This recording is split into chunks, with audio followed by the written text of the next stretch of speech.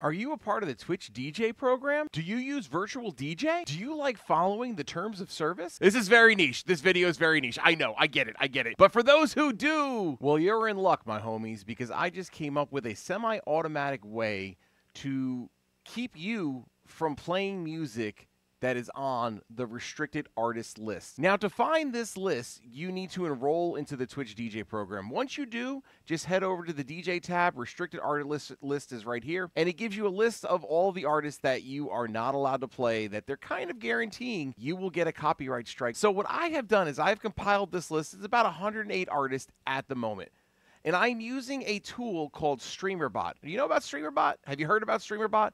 If you haven't heard about StreamerBot yet, go to my homie Nutty's, yes, Nutty YouTube channel. If you're a streamer, you know about Nutty, okay?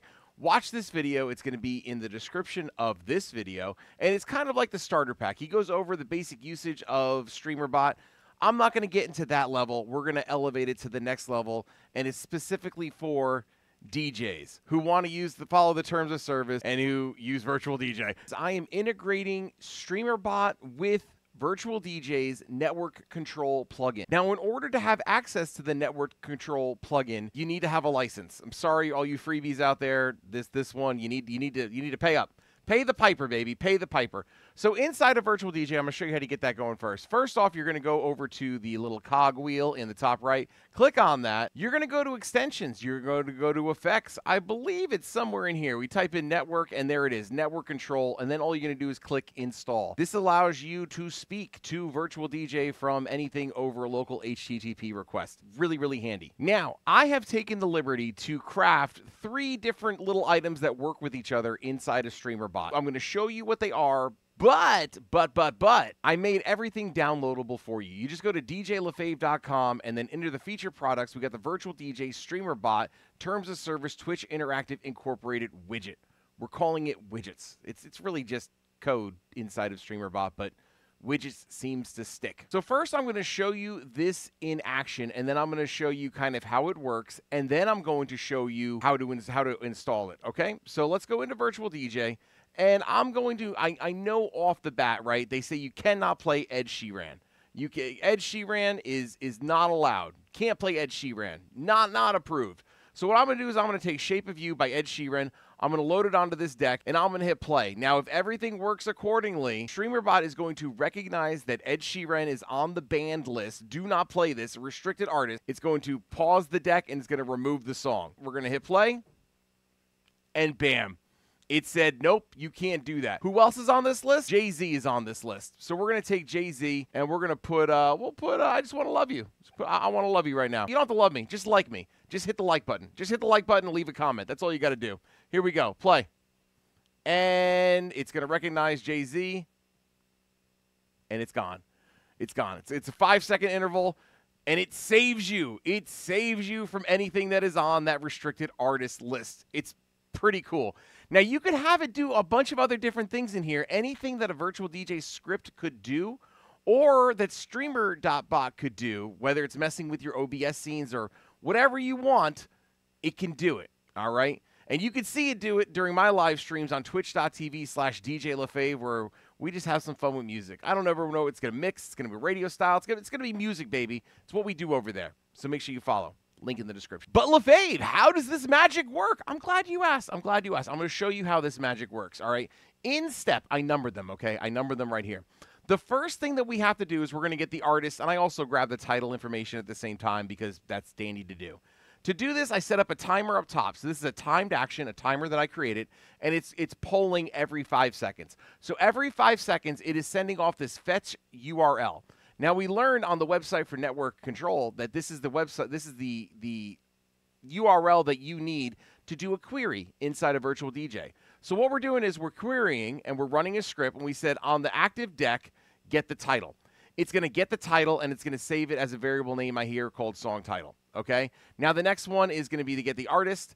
And the reason why I'm getting the title and the artist is because I have some overlays inside of OBS that I am then using these variables to plug and play into my OBS to also let people know what they're doing. If somebody's in the chat, they can just do exclamation point song and it will tell them the now playing song for their own viewing pleasure. They know exactly what's going on. So this right here is now getting it, right? And then I'm setting the global variable of now playing artist to the song artist. This is making this a new global variable so that when you go into variables, you're going to notice that it's not on my screen. It's on my screen. There we go. You're going to see right here that the now playing artist right now is an error because it, it just it errored out. But if I were to play another song right now, like um, well, let, let, let's pick one. Let's just pick some Busta Rhymes. Busta, Busta what it is right now. There we go. So I'm going to play this song, but you're not going to be able to hear it. You're not going to be able to hear it. Here we go. Oh, can you hear it? Can you hear it? Can you hear it? You can't hear it. Good. Good, good, good, good, good. Hear it a little bit, a little bit, a little bit. All right, so play it play for five seconds. We hit stop.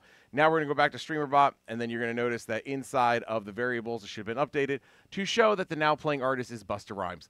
Busta Rhymes is not on the list of restricted artists, so it didn't stop playing. That's how awesome this thing is. I also created a variable variable here called band artist. Now, this whole band artist list, this is just taking from the I, I, I took this directly from Twitch. So if they update their restricted artist list, this is where you have to update it. Now, we may want to reference a text file in the future. We'll see how many people actually use this and, and want to try it out, but th- that, that is what has to happen. So all these are here. I basically put them all on a list. So it's going to do a compare against everything inside of this list. Now, one thing you're going to notice that I did have to do because, you know, it's computers and sometimes they just read things verbatim exactly as they are. So for Jay Z, Jay Z's written a couple different ways. So if you want to make sure that Jay Z is not played, because I, I like to play a good bit of Jay Z, it's one of my favorite artists, uh, there's J dash Z, and then I had to put J Z. So if you were doing something with John Lennon and John Lennon was written differently, it, it's just strictly going off of what is written. Now, alternatively, if you had a James Taylor is not, not is restricted. If you had an artist called the James Taylor Band, guess what? It's going to show up and it's going to stop playing. So there are some quirks right there. Maybe you need to do an approved artist or or or, or tailor it to your needs. But that's just is exactly what it's doing. It's going to look against that, and we're going to get into that right now. Item number two: perform check on current artist. What we're doing here is anytime the global variable that I just showed you of now playing artist changes, it's going to go in here and it's going to run this. So on here, we're going to get the global band artist, and we're going to we're going to get the arguments. We're going to set the arguments of the now playing artist, and then there is an if then statement. So right in here, it's going to say if the band artist contains the now playing artist, we're going to perform the action. So right here, I have number three, action to perform if a restricted artist is playing. And it's going to run it immediately and then break everything else. If it's not detected, it's just going to keep going. It's just going to keep going, baby. Keep it smooth, keep it going, keep the party vibes flowing. That's what I'm saying. So what I have now here is I have action to perform, restricted artist to detect it, and it is going to go one of these things. Right now, I'm saying to pause, and then I want it to unload. That, that's what I wanted to do. Now, what you also could do, you could do a whole bunch of different things right here. You could, if I were to, um, let's just say disable this one for now, disable, enable, disabled. Now, if I go into here and I say, we're going to make it perform a, deck uh, a backspin, script, deck active, and I'm going to say backspin, okay? So we say, okay. So now that's saved. That's good to go. If I were to play, let's see, who do we have on here right now? I, I we'll, we'll, go back to get back to Ed Sheeran. All right, Ed Sheeran, if you're watching, why are you restricting your music, bro? People need people need to hear bad habits. They need to hear it, man. I got the shivers. I'm gonna play shivers right now. So what happened is it's going to recognize that shivers is playing, and then it is going to do a backspin. It's gonna recognize that Ed Sheeran is going, and it's gonna and there you go. No hands.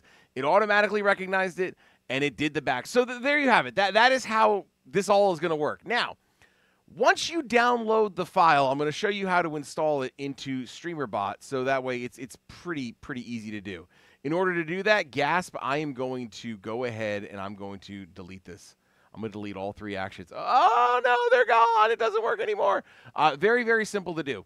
So you've got your file downloaded. What you're going to do is you're going to go to import. Okay, import. So once you open the file, um, it's going to be a whole bunch of gargly goop, and that gargly goop is going to look just like this. You can open it up in a notepad if your computer asks you. Open it up in a notepad. And this is what it looks like right here. So I'm going to just copy all of this. I'm going to go into StreamerBot. Inside import string, I'm just going to paste it right there. And you'll notice everything that I just had came right back on up. I say import. And uh, there are one items that will be overwritten with this import. Zero time to action. Yeah, because I already had it in there. So there you go. It's overwriting it now. Everything that I just told you about and taught you is here and free for the taking. So, What do I want from you? I don't want a gosh darn thing. I just want you guys to enjoy this. I, I want to know what else you want to know. Uh, there's a lot of things that I know about Virtual DJ, OBS Studio, a little bit about StreamerBot, still learning it, but a whole bunch of cool tricks. I'd love for you to join me on my live streams over on Twitch. I'd love you to like this video and leave a comment. Those are the things that I'm, I, I want from you. That, that, they're very simple. They're all free just be a part of the community. In fact, the community is so awesome. I'm going to say with my big face still on the screen. If you guys want to join my Discord, https colon slash slash discord slash DJ LeFave. Wait, no, Discord gg slash DJ LeFave. There's this thing right here called the tech forum. If you guys have any questions that are relating to virtual DJ, you want tips and tricks, tutorials, anything you want to share, that's the place to do it. So keep on mixing, keep on vibing. I'll see you around.